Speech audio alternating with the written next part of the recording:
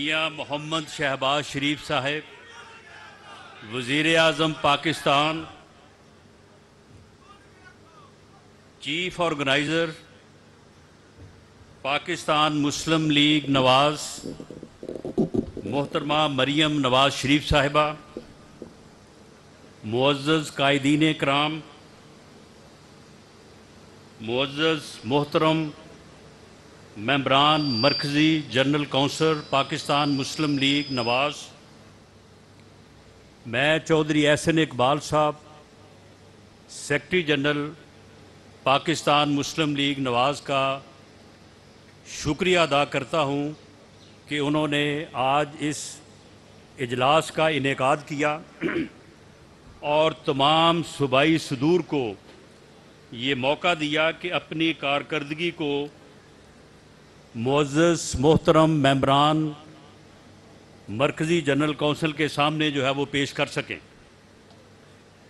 मुआज़ अरकान, मैं ये आपके सामने सबमिट करना चाहूँगा कि मैंने secretary, general secretary, Pakistan Muslim League Noon Punjab, Sardar Awais लगारी साहब और दीगर सूबाई अहदेदारान के साथ मिल के हमने सूबे में डिवीज़न, डिस्ट्रिक्ट और सूबाई हलका तक जो है वो तंजीम मुकम्मल की है और इस वक्त पाकिस्तान मुस्लिम लीग नून पंजाब में तमाम डिवीज़न्स, डिस्ट्रिक्ट और सूबाई हलका तक जो है पूरी तरह से मौजूद है।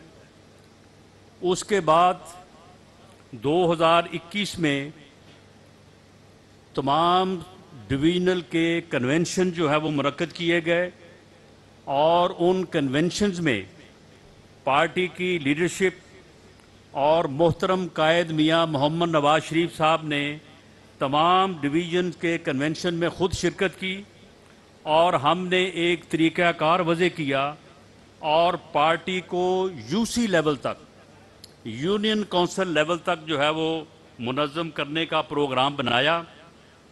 और अब पाकिस्तान मुस्लिम लीग नवाज़ पंजाब में यूनियन काउंसिल लेवल तक जो है वो मौजूद है और पूरी तरह से मुनज़म है।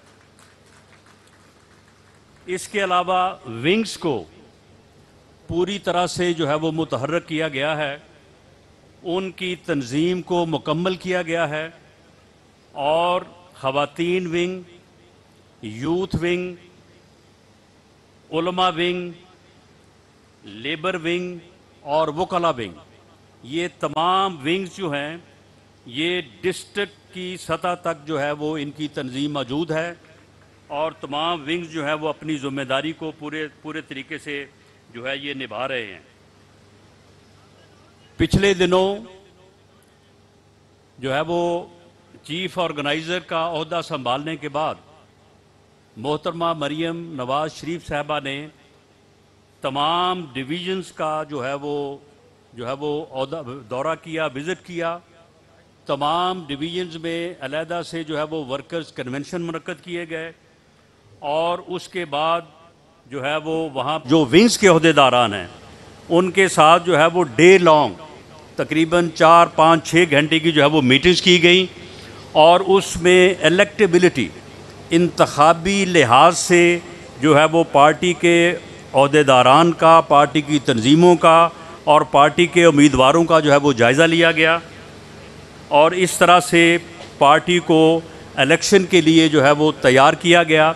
और ये बात मोज़ अरकान जनरल कौंसिल के सामने जो मुझे करते हुए जो है वो बड़ा इतमान है कि अल्लाह के फजल से तकरीबन 80 परसेंट हलकों में हमारे वो कैंडिडेट्स जो है वो मौजूद हैं, जो पार्टी के साथ हर हाल में, हर मुश्किल में जो है वो पार्टी के साथ खड़े रहे हैं और उनकी अपने हलकों में जो है वो पोजीशन जो है वो बहुत बेहतर है।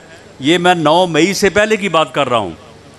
और अल्लाह के फजल से जो है वो पार्टी ने भी ये फ़ैसला किया है कि वो लोग जो पार्टी के साथ मुंतखब होने के बाद या इलेक्शन लूज़ करने के बाद या लूज़ करवाया गया इलेक्शन जिस तरह से आरटीएस बैठाया गया और जो 2018 के इलेक्शन में हुआ, उसके बाद पार्टी के साथ रहे हैं। पार्टी का भरपूर साथ दिया है। पार्टी इस इलेक्शन में उन्हीं उम्मीदवारों को और उन्हीं साथियों को जो है वो आगे लेके आएगी। और ये जो ये जो लोगों का इधर उधर आना जाना लगा हुआ है 9 मई के बाद। जिस जगह पे हमारा कोई कारकुन, हमारा कोई डिवोटेड साथी मैसर नहीं होगा या यहाँ पे हमारी पार्टी ये रिकमेंड करेगी कि जी फ़लाँ शख्स को जो है वो फ़लाँ उम्मीदवार को पार्टी में शामिल कर लिया जाए। उसके अलावा हम अपने उम्मीदवारों को, अपने कैंडिडेट्स को अपने वर्कर साथियों को जो है वो हर लेवल पे तरजीह देंगे और इन ताला उन्हीं के साथ जो है वो इलेक्शन में जाएँगे। 9 मई के बाद जो सूरत हाल जो सामने आई है, वो आपके सामने है कि ये अल्लाह ताला ने किस तरह से उस तकबर और गरूर में गर्क इंसान को जो है वो उसकी नाक को खाक आलूद किया है कि जो कहता था, मैं किसी को नहीं छोड़ूँगा। सबने उसे जो है वो छोड़ दिया है। जो जो दूसरों को दूसरों को चोर और डाकू के अल्फाज से याद करता था, आज उसे ना फरा गोगी के, की लूट मार का जवाब दे पा रहा है, और ना ही जो है वो अपनी अहलिया मोहतरमा जो है उसके नाम पे जो अल कादर ट्रस्ट के नाम से ज़मीन हासिल की है, जिसके सबूत, जिसकी रजिस्ट्रियाँ, जिसके इंतकाल मौजूद हैं, ना वो जो है वो उसका जवाब दे पा रहा है।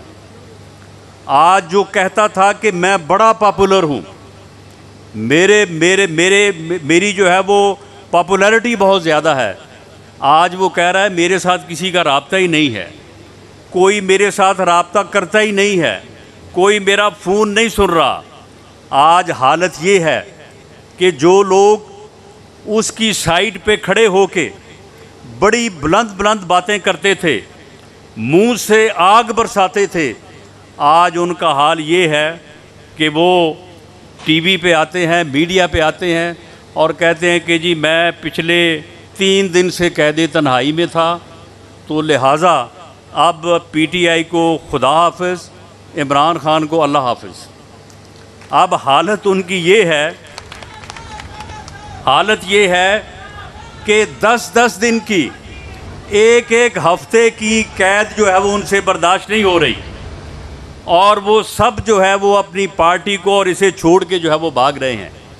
जब यही फ़र्क है, यही फ़र्क है एक सियासी जमात में, सियासी लीडर में और सियासी कारकुन में। आप ये देखें कि हमारे कायद के ऊपर जब मुश्किल वक्त आया तो उन्होंने कोई इस किस्म की बातें नहीं की। उन्होंने सिर्फ़ एक ही बात की कि मैं अपने मामले को अपने रब पे छोड़ता हूँ। मैं अल्लाह पे छोड़ता हूँ। और आज देखें कि अल्लाह ने कैसा इंसाफ किया है। अल्लाह ने कैसा इंसाफ किया है कि मेरे कायद को भी और दूसरे कायदीन को भी जो जमात में यहाँ पे मौजूद हैं, उन सबको जो है वो सुरखरू किया है। और क्या कभी किसी ने पिछले साढ़े तीन साल में, चार साल में, या उससे पहले भी जब कभी पार्टी के ऊपर बुरा वक्त आया, कभी किसी ने इस किस्म की आवाज़ें सुनी थी? कि जी, मैं पार्टी छोड़ के भाग रहा हूँ, मैं कैद तन्हाई जो है वो नहीं काट सकता, मुझे फैमिली याद आती है, और मई का महीना जो है इसमें गर्मी बड़ी होती है, कैद में जो है वो, जेल में जो है वो गर्मी बहुत ज़्यादा है। ये हालत है इनकी, जो कि खुद को कहते थे कि हम जनाब बड़े, बहुत बड़े सियासी लीडर हैं और सियासी कारकुन हैं। हमारे साथ ऐसे ऐसे हरबे भी अपनाए गए कि बाप के सामने, कायद के सामने, हमारी बहन को, उनकी बेटी को सिर्फ़ इसलिए गिरफ़्तार किया गया कि उनका हौसला तोड़ा जाए। उनका हौसला तोड़ा जाए। पार्टी के सदर वज़ी अजम पाकिस्तान, अल्लाह ताला ने उन्हें कहा अदालतों के सामने से, जेल की काल कोठड़ी से उनके सब्र का कैसा इनाम दिया कि वहाँ से उठाया और उन्हें आगे वज़ी अजम हाउस में बिठाया। उनकी बेटियों को जो है वो अदालतों में बुलाया गया। इन सब चीज़ों को हमने सब्र के साथ और हौसले के साथ जो है वो बर्दाश्त किया।